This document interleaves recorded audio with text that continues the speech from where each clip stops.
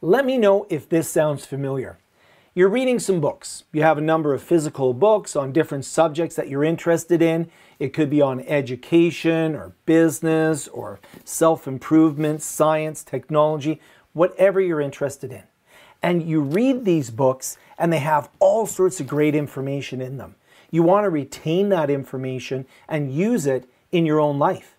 So maybe you go through and you mark certain pages in the book. Maybe you write in the margins of the book things that are interested to you. Maybe you even have a note taking system where you take all of the information from the book that's interesting to you and you take notes and you review those notes.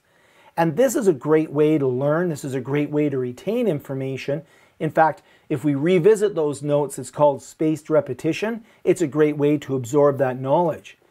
But a few months go by and you remember that you read the book and you have a vague recollection of what was in the book, but it's starting to fade, it's starting to go away. And you want to revisit it, but you don't want to have to go through all of the notes. You don't want to have to reread the book, although I always recommend rereading your favorite books. But you still want to interact with the information in a way that's meaningful. Well, that's what we're going to talk about in this video. In this video, we're going to take a look at how we can take a physical book, convert that physical book into a PDF, take that PDF, put it into an AI system, and use the AI system to quiz me on the contents of the book so that I can develop a better understanding and a deeper knowledge and better retention of what was in that book. That sounds interesting? I hope you'll watch to the end of the video and see the entire process. As always, here on Learning and Technology with Frank, we look at ways that we can use technology with intention to learn, teach, and be more productive. We now have a Skool community, I'll link it down below, that you can join to meet like-minded people to share ideas on how we can use technology in a more meaningful way. Let's take a look at converting a book into an AI tutor. So I'm a big fan of reading in general. I have quite a lot of physical books. I do a lot of ebook reading as well on a Kindle or a Kobo. But there's a challenges with both of these. A physical book is great. I love the feel of a physical book, the tactileness. I like flipping through the pages. There's something about a physical book that's special. The challenge with a physical book is that if I want to take notes, I'll have to have a separate device to take the notes. If I take the notes within the book itself, I can only revisit those notes by pulling the book off the shelf. So there are some challenges. The problem that I have with electronic books is although they make digital note taking easier, I can just highlight and annotate what I'd like. In fact, my Kobo even comes with a stylus. Those are locked. A lot of times I can't do anything beyond just what the book offers me. And I can take notes, I can take highlights, but I can't do anything because I don't have it as a PDF. If I convert a physical book into a PDF, I can read it on one of my electronic devices. I can read it on the computer. I can read it on a Kindle or a Kobo, but I have full control over that PDF. So what I've been doing lately is buying more of my books as physical books and converting them to PDFs using this method. At this point, it occurs to me that I should probably say something about converting a physical book to a PDF. Where I live, that's legal. If I own the book, I'm legally allowed through fair use to convert this into a PDF as long as I don't distribute that PDF. And if I get rid of the physical book, I also need to delete the PDF. So those are some rules where I live. Check where you live. Rules may vary, but in my case, I can take a physical book and convert it into a PDF legally underneath the fair use rules. In order to convert a book into a PDF, I'll use a book scanner. This one here is by a company called CZUR, C-Z-U-R, and I'll link down below to some videos that I've created on using book scanners. I actually have three different models that I use. The one that I use the most is called an ET24 Pro. It's a little bit of a larger book scanner that I keep set up inside of a light tent in order to get a lot of good quality scans. This is one that I keep on my desk and I have another one that's portable that I can take with me. You can check out that video. Like I said, I'll link that down below. But now that I've converted this book into a PDF and a searchable PDF at that, I have a lot more flexibility. So now that I've taken my physical book and I've made a backup copy as an electronic PDF, I can put that PDF onto my Kobo, my Kindle, my iPad, whatever device I'd like to use to work with that searchable PDF. And what I really like about this is as I make those notes, I'm generating an electronic notes file. A lot of times what I'll do is continue to read the physical book because I do like reading physical books quite a bit. But as I take notes, I will take them on my phone or on my iPad and I will reference the different sections of the book. This now gives me two electronic files my PDF that I created from the book and an electronic notes file. What can we do with those in order to make sure that I'm learning from the book and still understanding and retaining all the concepts? That's where my next step comes in using artificial intelligence. So I'm using Microsoft Copilot 365 because I have an organizational license to Copilot 365. If you prefer to use a different AI solution, you can do that. The only thing I would check if you're using a free version of AI, you may not be able to load a large PDF. In this case, I've loaded the entire searchable PDF of the entire book. So this is a, a, a, very large, well, not large in terms of size, but it has a lot of pages to it. It's about 800K or so. And I could also load up my notes or anything else that I want on here. But what's really powerful here, and in this case here, I'm using a Copilot 365 notebook where I've loaded this as a resource into my powerful teaching notebook, my project to study this.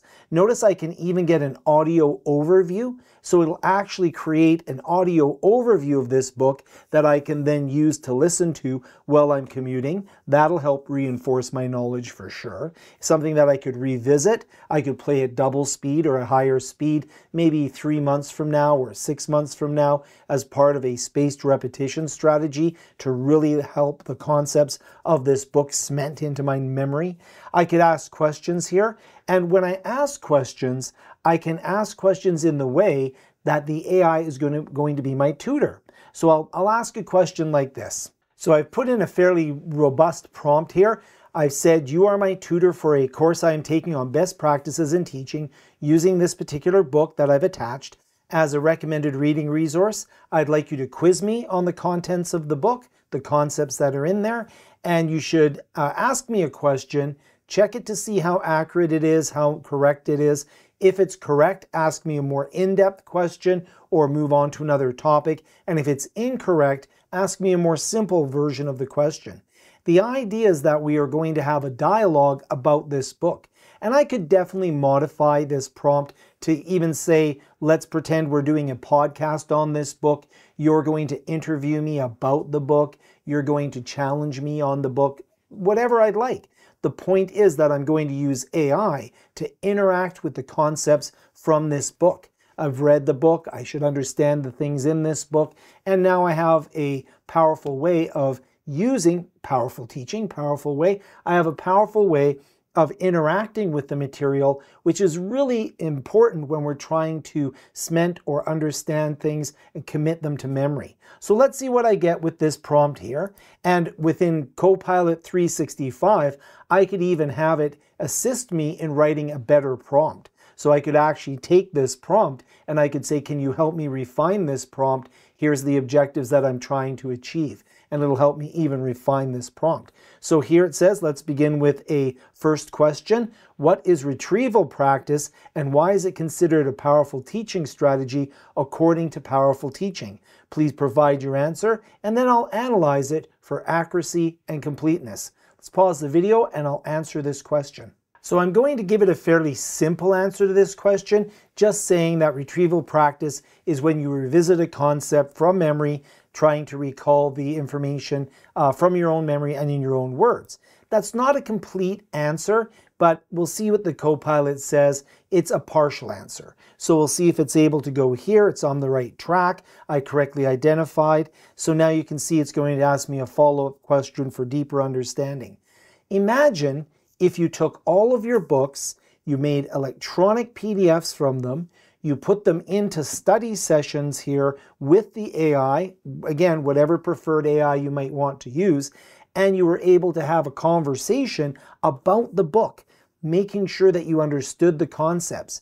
You could come back to this two months from now or three months from now, revisit your conversation. You could save your conversation and you could have another conversation to improve your recall for the material that you're reading, helping you remember and study and understand the things that you're reading for a longer period of time and with more, with more depth. I could even direct the AI to help me find more materials beyond just this book on certain topics so I can branch off and go even a little bit deeper. This is a great way to use AI as a study companion and as a memorization companion as well. Notice also here that it does give me the reference to this particular PDF that I have here. So it will reference any material that I bring in. So it'll tell me where I'm getting it from. So had I brought my notes in here and it referenced my notes, it would have given that as a reference as well. Very powerful. And I'm pretty fond of Copilot 365. The only thing with Copilot 365 is we can't buy that, that license as an individual. It has to be an organizational license through a school or a business. But you can get professional versions of ChatGPT, Claude, Perplexity. There's a lot of different tools out there that will allow you to do the same thing.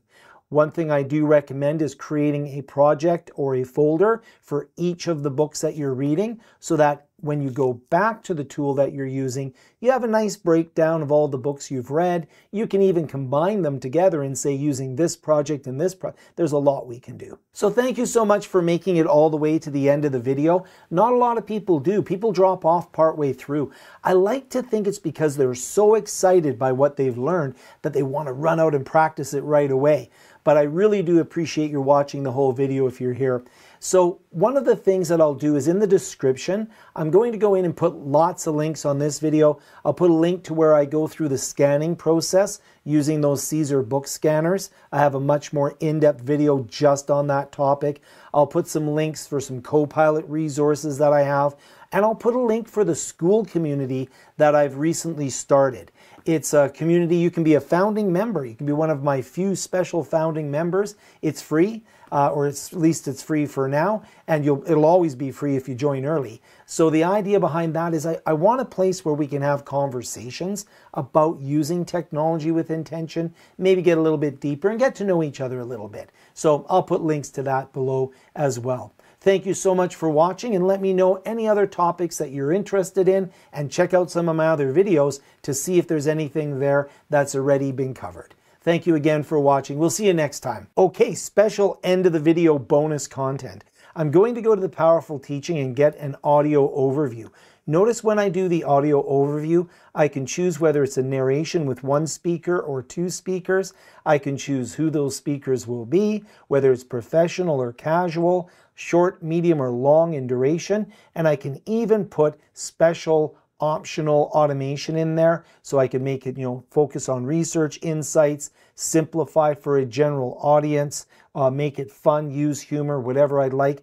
I'll leave it blank for this one just so I can generate a quick audio here, and then we'll listen to it in just a second. So that did take a couple minutes in order to generate the audio, which is perfectly fine. I have a cat over here that needed a treat and a cuddle anyways. So let's have a look at my, or let's listen to the audio. Hey everyone. Glad you're here because today we're diving into teaching that really sticks. We're looking at powerful teaching. Unleash the Science of Learning by Pooja Agarwal and Patrice Bain. That's right. We're going to break down the key strategies from the book. That's great. It's about 14 minutes in duration, but I have found that these overviews are really nice, and I'll sometimes even use them as a pre reading exercise. So I'll go in, scan the book, put it into the uh, Copilot in my case, Copilot 365, generate an audio overview, listen to the audio overview, read the book and take notes, and then test myself using AI.